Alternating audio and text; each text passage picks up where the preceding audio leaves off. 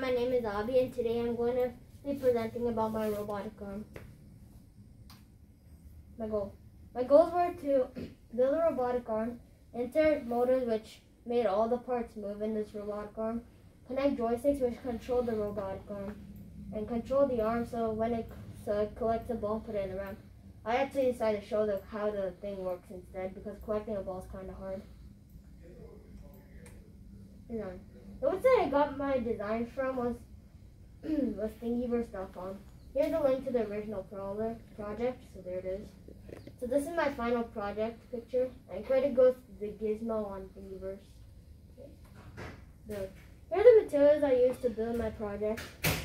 I used 24 wires to, including the male to male and male to female wires.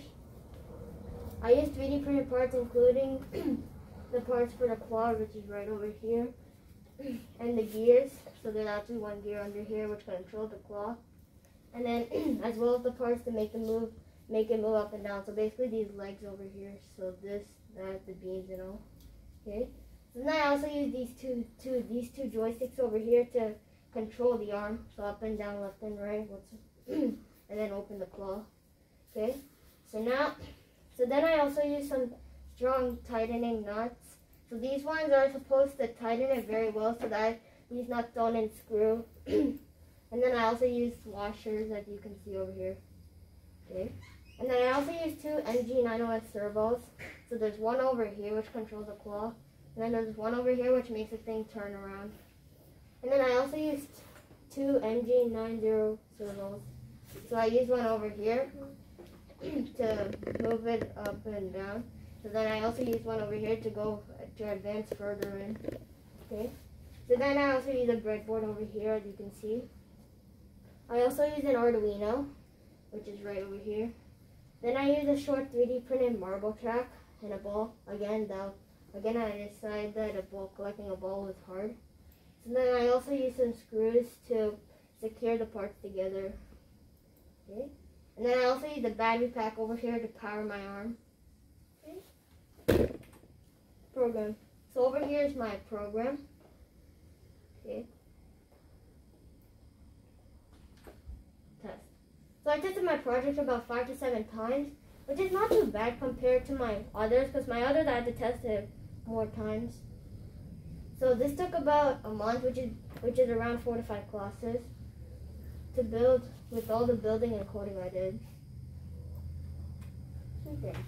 I learned quite a bit during this project. One thing I learned was that Arduinos, which I used, was a lot similar to Raspberry Pi, except in a except in a different form.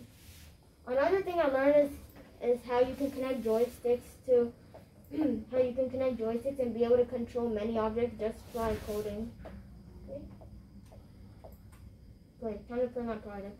So I'm basically going to be demonstrating how these joysticks work.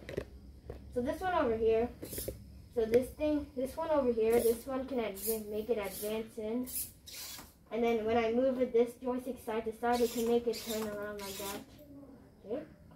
Now this joystick over here, when I move it up and down, it can open the claw like that. And then when I move it side to side, it it goes down. So basically I'm just going to demonstrate all of them in one. So, so turn, up, down, and then, and then open the claw. And that's all, and that's pretty much it. Okay, does anyone have any questions for him? Okay, uh, what was the main issue with your project? So one of the main issues I had was that one issue I had earlier was that the claw was not opening and closing. Another issue I had was that uh, sometimes the wires would act, the motors and wires would overheat, so I have to keep replacing the the motors and wires. And sometimes it actually has a mind of its own, so it kind of moves a bit. All right, good. Let's give a round of applause.